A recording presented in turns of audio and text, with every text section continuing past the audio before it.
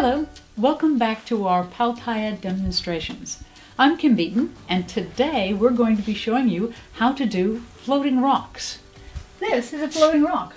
It's also a planter.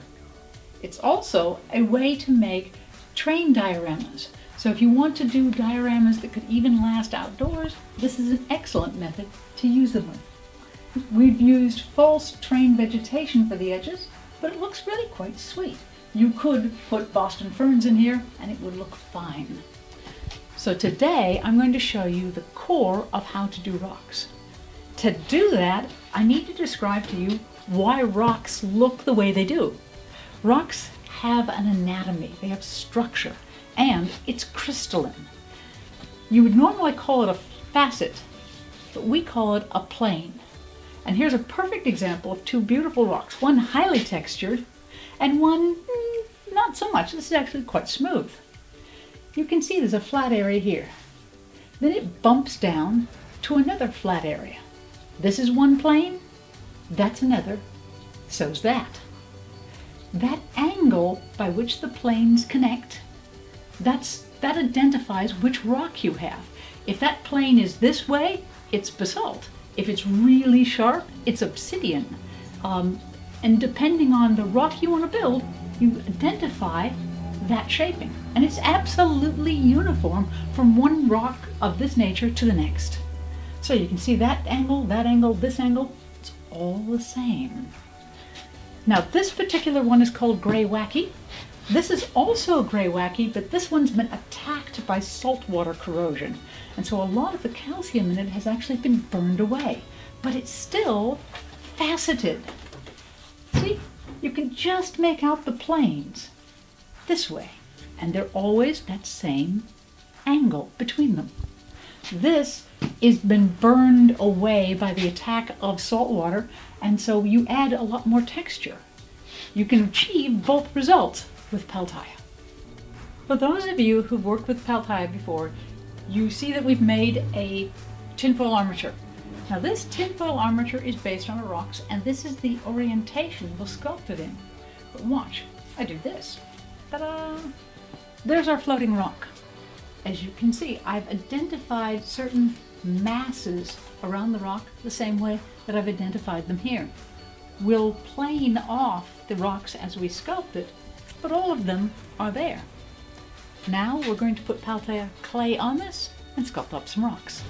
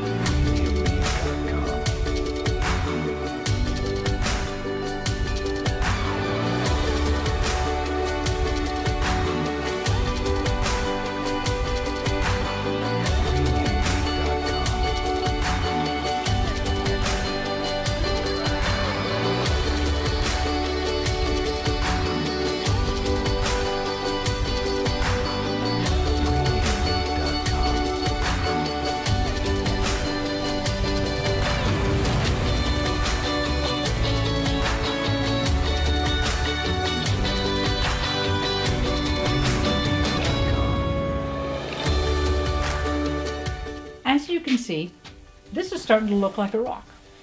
I will say right now, this is a fantasy rock. This is the kind of rock you would see in Wile E. Coyote. When you're doing plane structures, they have to match through the rock. This is intended to be a floating rock. And so literally the plane structure is here, it rotates, it's there, it rotates, it's there. Real rocks don't do that, but floating rocks do. And it makes it so that it is handsome as it rotates in space. I've established most of my planes at this point. You can see it's very, very faceted looking. I will continue to do that and every once in a while add little bits of random texture and detail. And it'll pick it up really beautifully. But I will also pierce in tiny details, itsy bitsy rocks. This is where it gets fun. At this point, I've been I've mixed the clay. We're at about 20 minutes. I now have hour and a half to just pick in all the careful details and lovingly get the surface brought up. So have fun. Enjoy yourself at this point.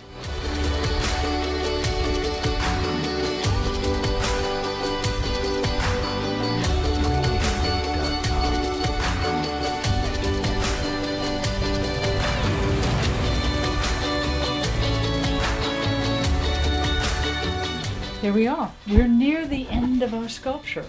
All of our facets are there. It does look like a rock. It's certainly fantasy rock, but still, it's a, it's a good looking rock.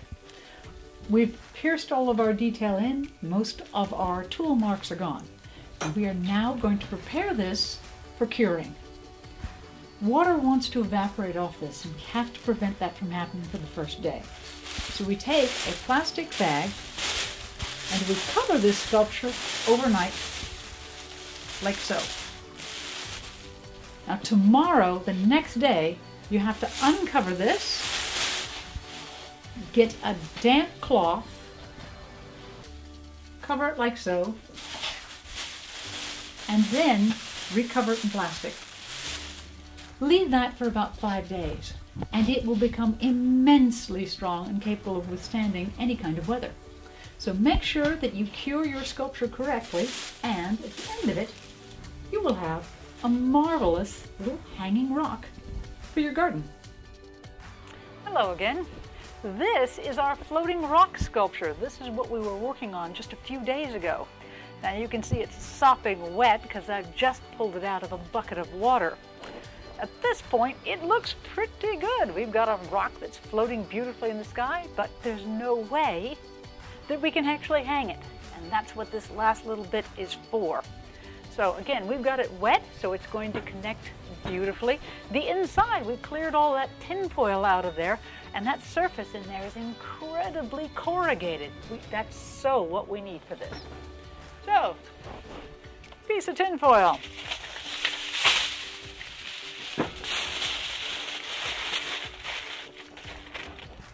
I want something that sits in here about halfway. But more importantly, it has to come up from the edges and then go flat across.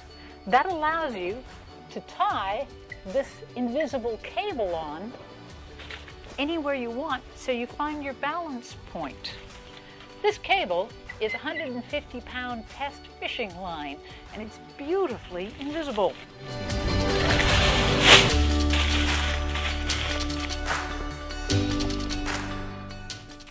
About halfway. That looks pretty good. That makes up a batch of Pal Tiya.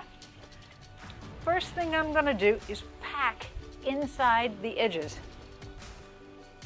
and aggressively connect it to that texture on the inside edge. To roll a tube. Oh yay!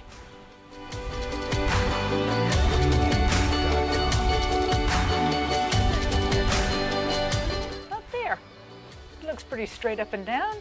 It's hanging right, like that. It's in the middle. And when that cures, that can hold the weight of the sculpture. Now we're going to put this back into water tomorrow. We still have to keep this wet. So we will wrap it in plastic. Tomorrow we'll plunge it back into water. And five days from now, that bar will be very strong, and we need it to be. So thank you again for joining me, and we have now made an awesome floating rock.